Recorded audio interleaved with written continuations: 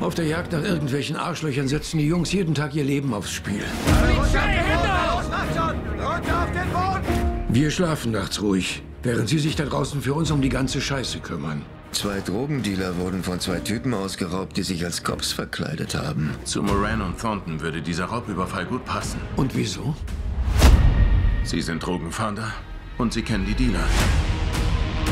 Wisst ihr noch das Geldversteck, von dem ich euch erzählt habe?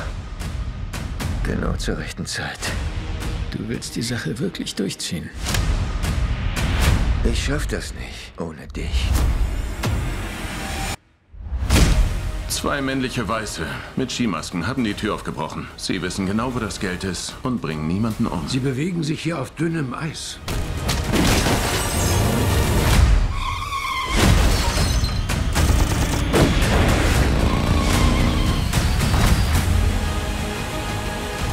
Was verflucht, wenn das jemand rausfindet?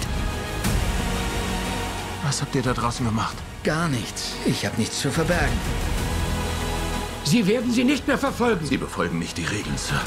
Diese Ermittlungen sind vorbei. Mein Instinkt täuscht mich nicht, Sir. Alles, was Sie haben, sind Vermutungen. Sie sind bloß eine Haaresbreite davon entfernt, Ihren Job zu verlieren. Es ist unser Job, das Gesetz zu achten.